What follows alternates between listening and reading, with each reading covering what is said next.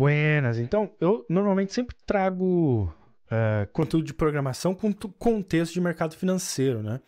É, sempre trago aí indicadores, aplicações, né? Através de indicadores, colorações, né? De que uh, tem um contexto no mercado financeiro. Porém, uh, recentemente houve aí uma atualização de uma função importante, que é algo que a gente pedia bastante, porque muitas vezes eu cheguei a falar aqui no canal que não era possível fazer, e claro, não era, né? Até agora. Uh, mas porque eu acho que é uma alteração importante interessante que abre uma possibilidades aí de customizações bem legais.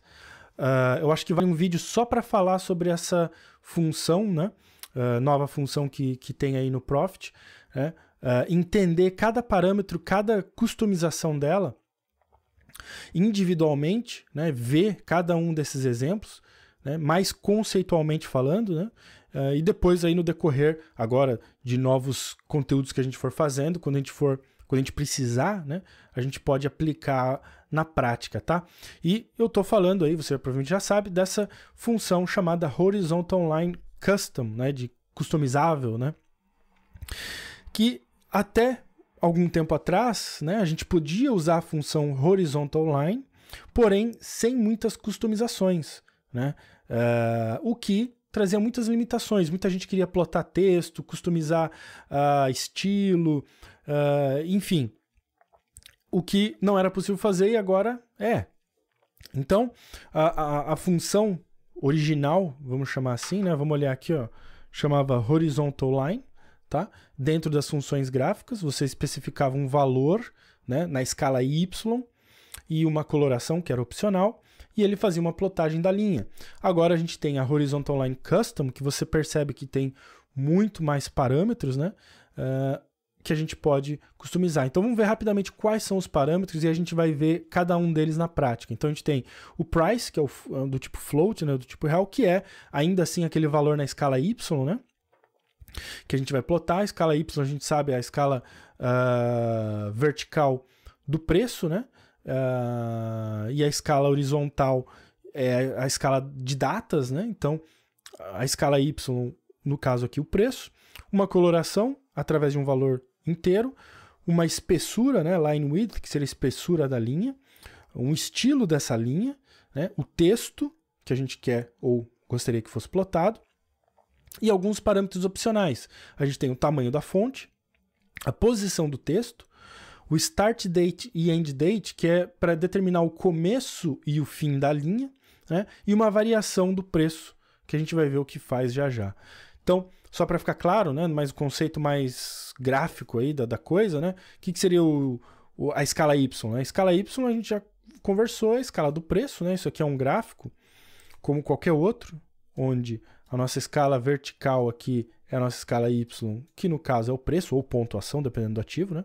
E a escala horizontal, aqui embaixo, são escalas de datas, né? Seria a nossa escala, como a gente conhece em gráfico normalmente, escala X, né? Que seria a escala de uh, datas. Por isso que quando a gente determina um start e um end date, né? É, a gente está determinando valores no, na escala X aqui, né? Então, por isso que a gente tem um começo de, através de uma data e um fim de uma data também. Né? E um valor correspondente na escala y do preço para determinar né, é, a posição dela né, uh, nessa escala.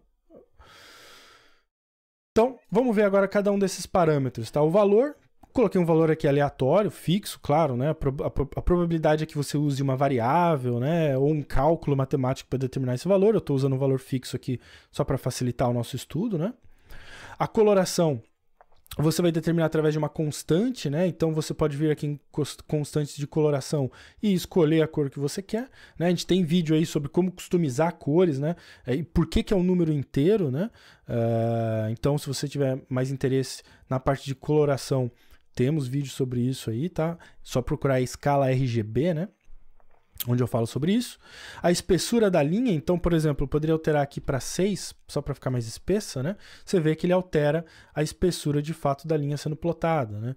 O estilo você pode determinar através dessas configurações aqui nas constantes de estilo de linha, onde você tem dash, dash dot, dash dot dot, dot e solid.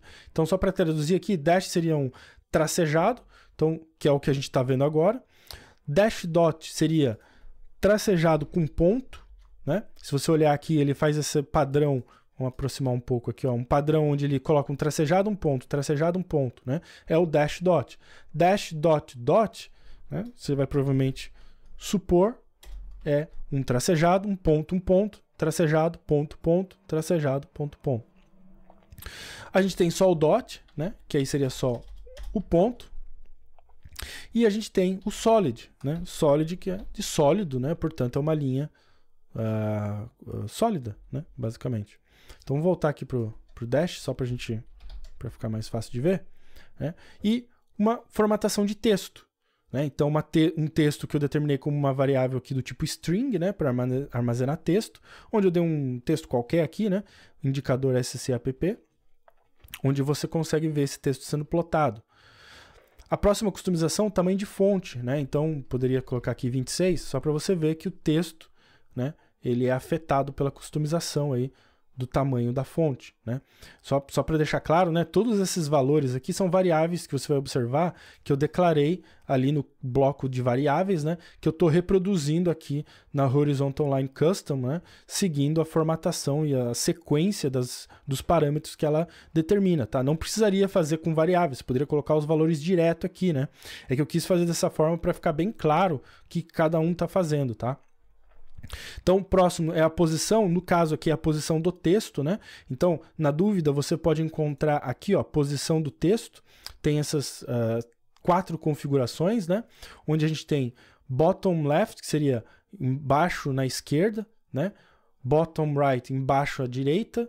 Top left, acima à esquerda. E top right, acima à direita. Então, no caso agora está top right, você vê que está acima da linha à direita. Se a gente fizer um top left, que vai acontecer é que ele vai plotar acima da linha à esquerda. Então, última vez aqui, vamos ver um bottom right, né? abaixo da linha à direita, e já que a gente já fez basicamente todos aqui, né? Abaixo à esquerda, tá? E aí entra aquelas configurações de começo e final que a gente conversou, né? Que se você observar, se a gente aumentar aqui um pouco, vou deixar aqui, ó, para a gente observar aqui, ó, olha a minha configuração, né? Onde ela começa e onde ela termina. O meu começo está justamente no dia 8 de dezembro de 2023 e o meu final no dia 14, né? 14 de dezembro de 2023, tá? Formatação de datas no formato NTSL, é, já falei aqui também, tem conteúdo lá na Wiki, né? Caso você queira entender como que funciona essa representação de datas no formato NTSL, porque não é tão óbvio, né? Não é uma data como a gente costuma tratar, né? Mas existe um formato e uma forma de calcular e manipular. Existem até funções onde você pode subtrair, adicionar datas, né? enfim. Né? Por exemplo, só para te mostrar um exemplo aqui, a gente poderia usar a função chamada today no final, que diz que retorna a data atual do sistema. Então seria a data de hoje, né? A data de hoje do sistema. Então quando eu salvo com o final today, note que ele vai até né, a, a, barra mais recente, porque hoje é um final de semana, então ainda não, não, não teve mercado, né? Mas é o mais perto que ele conseguiu de today, né? De hoje. O mesmo eu poderia fazer aqui usando funções e manipulações de data para o começo. Da mesma forma que se eu não determinar um começo, então, vou comentar essa linha de começo. O que ele faz é plotar indefinitivamente para a esquerda, né? até, o, até de fato o começo do gráfico. Né? Então, você pode customizar como você achar melhor. Né? Então, vou voltar aqui para a data, né? que a gente determinou um período, onde a gente tem, por último, a variação. Tá? Essa variação, então, é mais fácil mostrar. Né? Veja que a gente está em zero, significa que a gente não vê nenhuma variação. Agora, se eu colocasse 10, por exemplo, né, você nota uma sombra que vai uh,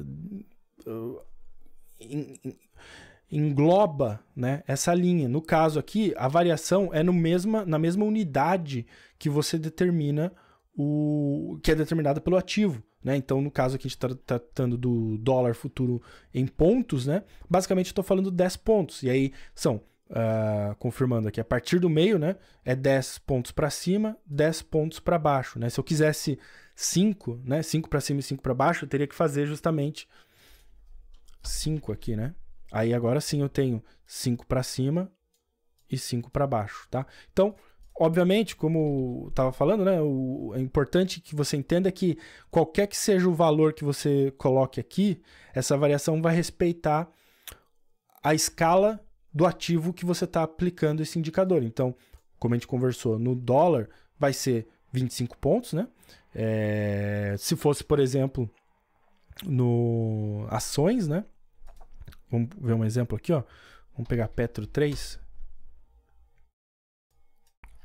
Gente vai ter que mudar o valor, né? Porque agora, vamos por aqui, 37, 38, 38. Né?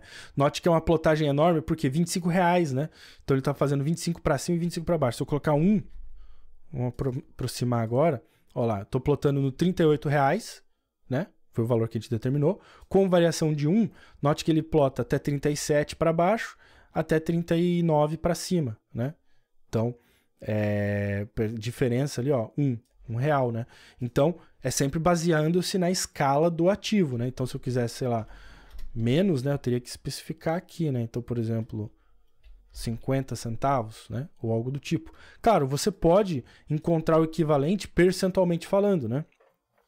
Você precisa aplicar uma fórmula matemática, né, para determinar isso através de uma porcentagem, mas o importante é que o parâmetro que chama price variation, né, ele requer um valor dentro da escala do ativo que você tiver aplicando a, a linha, né? Então, no caso aqui, ação de real, né? É, mini índice, os próprios pontos, dólar, ponto também, assim por diante, beleza? Então, essas são todas as customizações. Agora você percebe que né, te dá uma flexibilidade maior de customizar graficamente plotagens e demarcar visualmente né, regiões até mesmo dentro de um gráfico, né? Então, novamente, se tiverem necessidades específicas aí, dúvidas específicas, deixa aí nos comentários. Né? E agora, a partir de, de, a partir de agora, né, novos indicadores aí que a gente estiver trabalhando, estiver executando que possam se beneficiar dessa customização, né? A gente vai aplicando e vendo mais agora num, num contexto mais prático do mercado financeiro, legal? Então é isso aí, espero que tenha ajudado. A gente se vê no próximo vídeo.